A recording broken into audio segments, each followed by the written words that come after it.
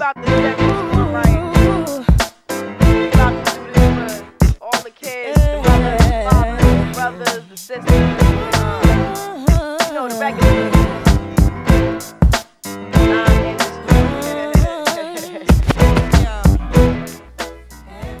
6.3 is on basic loans using compound interest. I'm actually going to do this over two days. It's probably not necessary, but uh, I'm going easy on you guys. So we're going to start looking at loans now. So what a loan is, is when you borrow an amount, it's still called the principal, just like before when you put money into the bank, it was called a principal. Well, if you borrow money from the bank or someone else, it's also called a principal. You borrow it from a lender, this is usually the bank, and you repay the, the lender this, all the money back, plus you have to give them extra, and that extra, the cost, is the interest. So most commonly loans use compound interest, uh, though simple interest loans do exist, and the biggest um, difference between your investment interest and your loan interest is that the loan interest is a lot higher. Thanks a lot, banks. Uh, and the same two in interest formulas are used as um, we did with investment. So you remember for simple interest, we said that interest was equal to P times R times T, principal times interest rate times time. And you remember for compound interest, it was the total amount is equal to the principal times 1 plus the uh, interest rate raised to the nth power, where n is the number of years or number of compounding periods. Okay, so same two formulas are used, and the interest can involve regular payments over the term of the loan, or it could be a single payment at the end of the term. So it's not as common I'd say, but let's say you buy some kind of furniture, you don't have enough money to buy it, so the uh, furniture store says, don't worry about it, you can pay us all the money in a year's time. But when you pay it in a year's time, you not only pay the $1,000 or whatever for the couch, you also pay an extra $200 at that time. That would be where you do the single payment. Or more commonly, you have regular payments over the term of the loan. So every month, perhaps, you pay back some of the loan and you also pay back some of the interest that you're accumulating, or that the bank's accumulating, I suppose. Okay, the cost of the loan. When we talk about the cost of a loan, what we're talking about is the total amount of interest charged by the bank or paid by you over the term of the loan. Um, right? That's the good thing about a loan is you uh, don't need to have the money now in order to purchase something. The bad part of the loan is there's a cost to it, and the cost is the interest you end up paying. So let's do a few examples. Thomas borrows 7500 from a bank to buy a used car. Let's do the same thing I did last time, do some highlighting. So he borrows 7500 from a bank to buy a used car.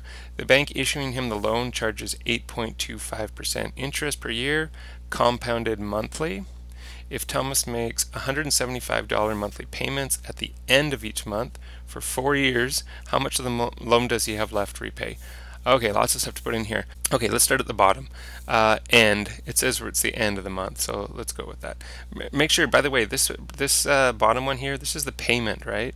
This doesn't have to do with the compounding. This has to do with the payment, and it says the payment is at the end of the month, so that looks good. Okay. Uh, compounding per year. How many times does it compound per year? Well, it compounds monthly, so that means 12 times per year. How many payments per year? Well, payments is each month, so that's also 12. The future value, that's what we don't know. I'll put question marks there. Okay, the payment. Is there a payment? Yes, he makes a $175 monthly payment. Now, that's money going out, right? That's out of his pocket. So this is a negative amount because it's leaving his person. Uh, PV, that stands for present value. So what's the present value? That's like the principal, right? That's 7,500. Now, before what we've been doing with all the investments is we made that amount negative. And the reason was because that was money that was out of your pocket. You're putting it into the bank. But this is money that's in your hands now. You have $7,500. So this is a positive amount. It's kind of backwards than what you'd expect because, you know, you're, owing this money. Um, so it's in a sense a negative amount but the way the, the the TMV solver works here is if it's money in your pocket it's positive and this is money in your pocket uh, the percentage is 8.25% and N now I just want to make sure you're clear about this The n value is the number of payments. It's not the number of um, comp compounding periods, it's the number of payments made. So since you're paying monthly and it's over four years, that's 4 times 12, which is 48. And then what we'll do is we'll use our TI-83, I suppose, use the TMV solver, and we're going to enter in this information. Okay, here we go. So second finance, we pick number one, and we're ready to go. N is 48. I'm going to the keyboard. 48. The percentage is 8.25. The pre, pre um, present value is 7,500. The payment is negative. Got to use that button down there. 175. I'll leave that at 0, 12, 12. This should be at end, and it is. I go back up to future value. I hit alpha. I hit enter, and it tells me it's a negative amount because that's not money in your pocket. That's money that's owing. That's money that has to go out. And the amount is $508.53. So we'll go back here, $508.53 is our answer. Okay, the next question is when will he finally pay off the loan and what was the cost of the loan? So we want to know when he'll pay off the loan. So what changes here? Well, in this case, we don't know what n is. We don't know how long it's going to take. Most things stay the same. The percentage stays the same. The present value stays the same. The payment stays the same. Whoops, 175. Okay, the future value. Well, if we want to know when it's paid off, what's the future value when it's paid off? The future value would be zero. It's all paid off. There's nothing left this would still be 12, 12, and n. So we just got to change a couple things there, and we can see how long until um, it's paid off. So let's go back here. We're going to go up, and or we're just going to change this to 0, and then go up to here. You can get rid of it if you want. You don't have to. You can leave it. Um, oh, I put 8 there. Now it's 0. So um, this is the one we want to know. So I go alpha, enter, and I get 50.9. And we're talking about months here. So this is 50.9 months. But you're not going to pay for part of a month. So what that means is 51 months. That's the answer to when will he finally pay off the loan. Now, what was the cost of the loan? Well, remember, every month he's paying 175, and he's going to have to pay it 51 times. So that's 51 times $175. And if you multiply that out, you get 8,000 925. So is that the cost of the loan? No, that's the cost of the, what's he buying? A car. That's the cost of the car. How do we know what the cost of the, the, loan is? Well, that's how much extra he paid, how much interest he paid. So to figure that out, we say, well, he paid 8,925. But what he could have paid, if he could have paid the whole thing right at the start, he could have only paid 7,500. That would have been great. So the extra amount he paid, that is the cost. That's the, the, the interest he paid. So if we subtract this, you get $1,425. This is the cost of the loan. Or that's the interest he paid if you want. Okay, you can see why it's so wonderful to be wealthy. Not that I have this experience in my life, but imagine being able to go and buy the car. Well, first of all, you probably wouldn't be in a car buying a car for seven thousand five hundred. But even you are, there's lots of rich people who are known for being stingy, right? So imagine how wonderful it is to be able to go in and buy the car for seven thousand five hundred dollars. Here you go. Here's my cash. Done. You now own the car outright opposed to Joe Average, who has to go get a loan, blah, blah, blah, and the poor guy has to pay $1,425 extra for this car, which isn't, isn't a nice car, it's a $7,500 car. Oh, to be rich. The great thing about being rich is it's so much easier to make money, and it's so much easier to avoid paying interest. Dharma applied for a loan to have her basement developed. The contractor, the contractor she hired estimated that it would cost her approximately 13,700 to develop the basement. Dharma had already saved $7,000 towards home improvement. She received a loan for the remaining amount and paid it off in four years with payments of $175 made at the end of each month. What was the annual interest rate? That's what we want to know. If the interest was compounded quarterly. Okay, lots of stuff in there again. So let's go at the bottom. Is it, yes, end of the month. So this is good. How often is it compounded? Quarterly. So if it's quarterly, then how many times per year? four times per year. Uh, how many payments are there? Uh, well, it says the payments are $175 made at the end of each month. So that means there's 12 payments. Uh, the future value, we want to know when will it be paid off. It will be paid off in four years. Well, if it's paid off, that means the future value is zero. What's the payment she's making each time? $175, and that's money that's leaving her hands. So that's negative $175. The pr um, present value, careful, it's not 13700 because it's going to cost $13,700 to pay for this. But she already has 7000 saved. She's going to pay off $7,000 right away at the start. So that makes it $6,700. That's the present value for the loan. Uh, and that's a positive amount because that's the amount of the loan she took and that's money that's now in her hands. Okay, percentage, that's what we're trying to find. We want to know what's the annual rate of interest. So this is question mark and N. How long did it take? Four years, right? Now you got to be careful here.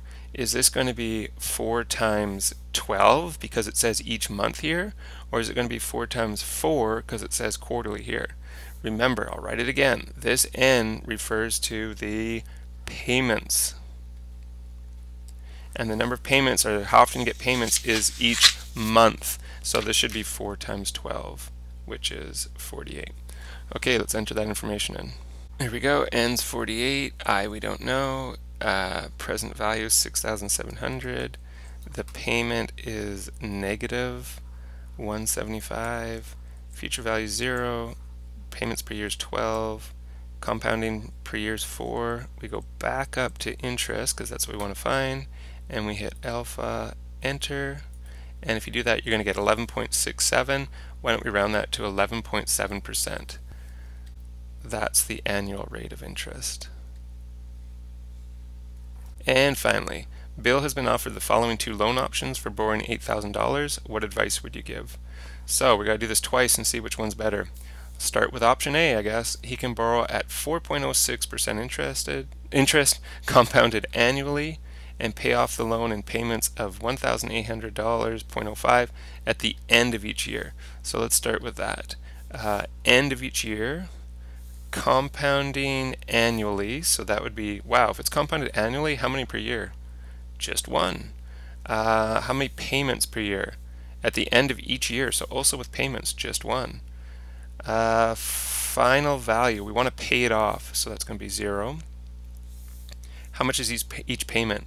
Uh, the payment is right here, 1,800.05, and remember your payments are negative, so negative 1,800.05. Uh, your present value is 8,000. That's positive. It's money in your pocket.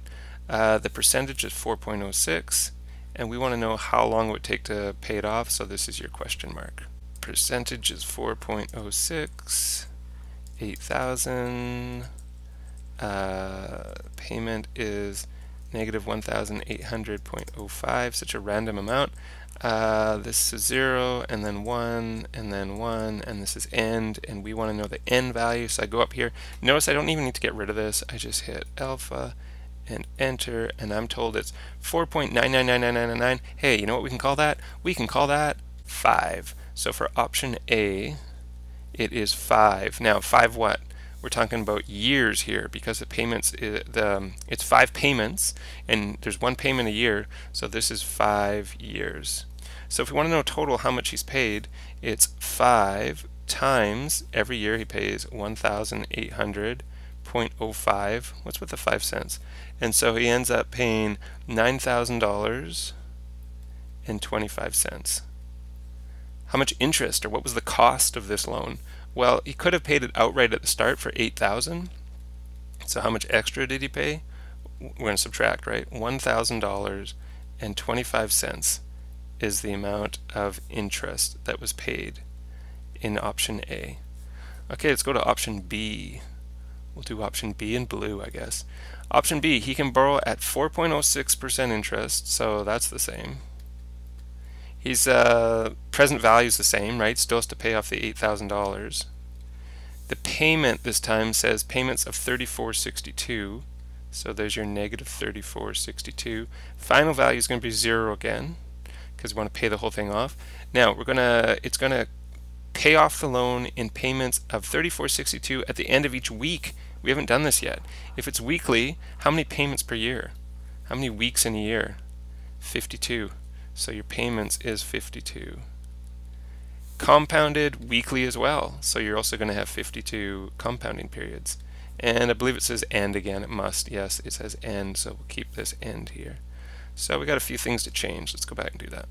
So we'll leave n what it is, doesn't matter. Uh, that stays the same, that stays the same. This changes. This is now 3462. Uh, and these should be 52, both of these. And then we can go back up to the end, see how long it takes. Remember, we're talking about weeks here. So alpha, enter, and we have 254.9 weeks 254.9 equals 255 weeks. Uh, back up here, I would, yeah, I did. I wrote five years. Good. So 255 weeks, and each week, how much is he paying each week? He's paying $34.62. Grab your calculator, everyone. If you multiply that out, you'll get $8,828.1 or 10 cents. So how much extra, or what was the interest in this case? Well, again, if he'd bought it outright, he could have gotten it for 8000 So if you subtract, you get $828.10. That's the interest for option B. Option B is here. So I guess it's really pretty obvious which one's the better option. Option B is the better option. Better. Hey, by the way, um, 255 divided by 52. If you do that, you ended up you end up getting 4 with a remainder of 47. So that means 4 years and 47 weeks. So not only is it cheaper, you paid off faster, right? You paid off about 5 months faster because this other one was 5 years, this one was 4 years and 47 weeks. So definitely better. You get rid of it a little bit faster, just over a month faster, and you pay $172 less. So do your homework before you take out these loans. There might be better options for you out there. After winter must come spring. Yeah, yeah, yeah, yeah, yeah. Our philosophy, possibly speak tongues, uh. beat drums, Abyssinian Street Baptist, uh. rap this and fine linen from the beginning. My practice.